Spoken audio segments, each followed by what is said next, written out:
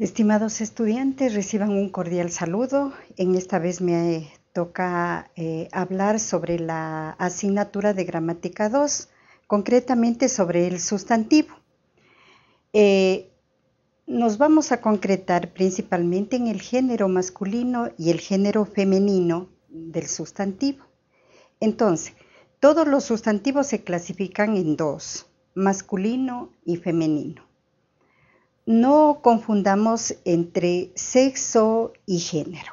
El género es un rasgo gramatical y el sexo es un rasgo biológico propio del ser humano. Con respecto al género, hay dos clases de sustantivo. El género inherente o también llamado rasgo propio concuerda especialmente con los determinativos y adjetivos. Nosotros aquí hemos puesto dos ejemplos. Por ejemplo, decimos la pared blanca. La pared blanca es femenino porque se combina con determinativos y adjetivos femeninos. La es un artículo determinativo. Esta es un artículo eh, o también determinativo demostrativo. Alguna es femenino de un demostrativo indefinido. Entonces nosotros nos damos cuenta que pared, entonces ha sido una un, pared, es género femenino, entonces va a concordar con esta, la y algunos. Luego tenemos césped. Entonces, ¿con cuál con ¿Con quién concuerda este sustantivo? Con él, esa, muchos. Entonces decimos el césped corto. Entonces, eh, corto es el adjetivo masculino. Concordó con, igual a sí mismo con, eh, con el artículo, con el demostrativo y con el indefinido. Bien, ahora continuamos con esto. El género eh, dependiente, eh, o sea, el género es dependiente de la terminación. En este caso, la diferencia terminación la manifiesta sobre todo el género. Por ejemplo, nosotros aquí tenemos niña y niño. Niño es masculino y niña es femenino en relación con las, con las terminaciones con que aparece.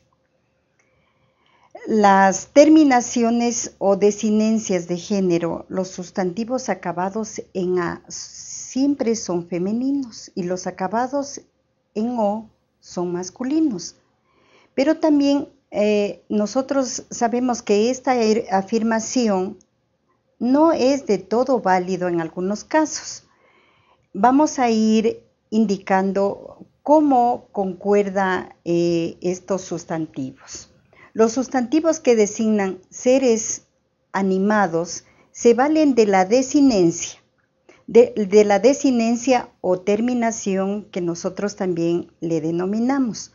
Por ejemplo, tenemos gato y gata, muchacho, muchacha, eh, nena, nene, jefe, jefa, masculinos que eh, eh, masculinos con desinencia o IE.